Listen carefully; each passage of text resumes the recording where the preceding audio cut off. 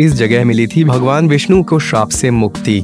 पूरी दुनिया में केवल एक देश ही हिंदू राष्ट्र है, वो नेपाल है। भारत में जहाँ काफ़ी सारे मंदिर हैं, वहीं नेपाल भी इस मामले में पीछे नहीं है। नेपाल के चुंग गाँव में एक मंदिर है, जिसको पूरे विश्व में चंगुनारायण मंदिर के नाम से जानते हैं।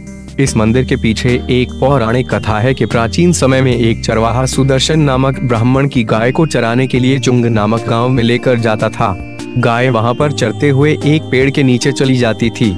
जब वह शाम को घर पर आती तो उस गाय का दूध आधा ही निकलता था।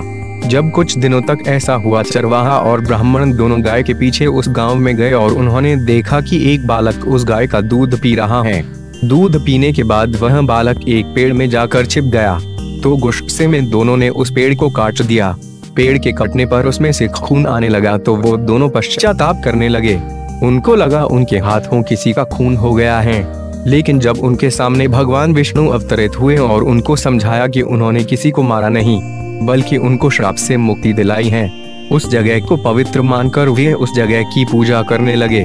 बाद में लिच्छवी सम्राट के समय में वहाँ पर राजा हरिदत्त वर्मा ने ऊँची पहाड़ी की चोटी पर चंगुनारायण मंदिर का निर्माण करवाया, लेकिन जंगल में आग लगने की वजह से वह नष्ट हो गया था।